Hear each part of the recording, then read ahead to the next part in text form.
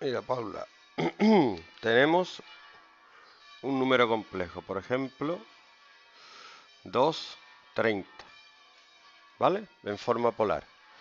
Para hacer la potencia, por ejemplo, 2, 30 elevado al cubo, elevamos el módulo a 3 y multiplicamos el ángulo por 3, con lo cual este número al cubo sería 890.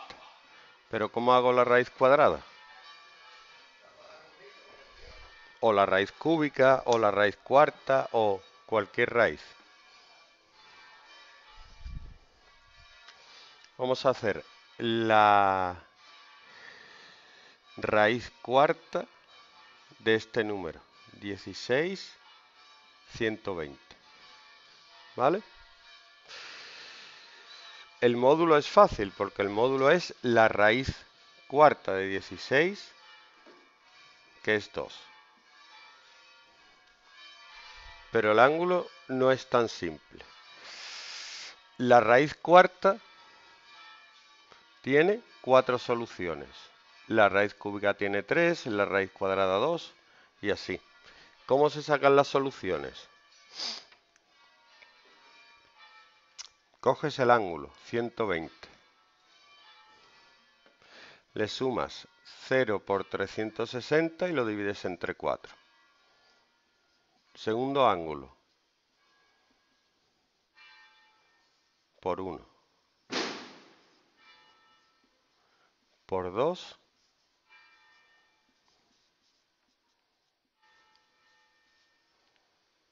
Y por 3.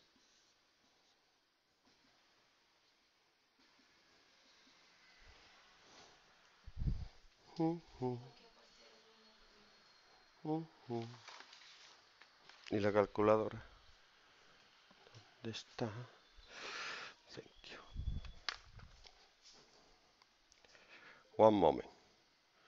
120 entre 4 es 30. 120 más 360 entre 4 es 120.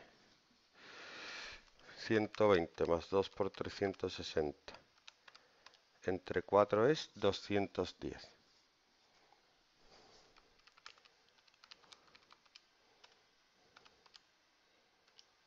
Trescientos. Tiene que tener cuatro soluciones dentro de los números reales. 2, 30 digo de los números complejos, 220, 2 210 y 2 300. ¿Por qué? Porque si este número, por ejemplo, lo elevas a 4, te tendría que dar esto, ¿no? Y efectivamente te da esto, porque 2 elevado a 4 es 16 y 30 por 4 es 120. Pero es que hay otros tres números dentro de la primera vuelta que también te dan eso. Vamos a ver por qué. El 220 elevado a 4 es 16 y 120 por 4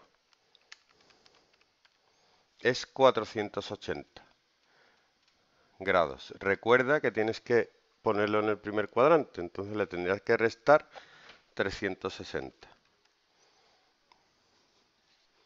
¿Ves cómo te da el mismo? Y el tercero, 2, 210 elevado a 4 sería 16 210 por 4, 840. Si lo pasas al primer cuadrante, le restas 360 una vez y otra vez es 120. O sea que aquí le tienes que quitar dos vueltas y en este le tienes que quitar tres vueltas.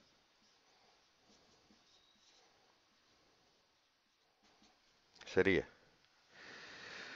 1200 menos 360 por 3 120. Es decir, las cuatro son soluciones de este número. Los cuatro números, al elevarlo a 4, dan este. Así que son raíces cuartas de este. Entonces, raíces cuartas en los números complejos y raíz cuarta y 4. ¿Mm? Que dan el mismo número, pero dan distintas vueltas alrededor del eje. Ajá.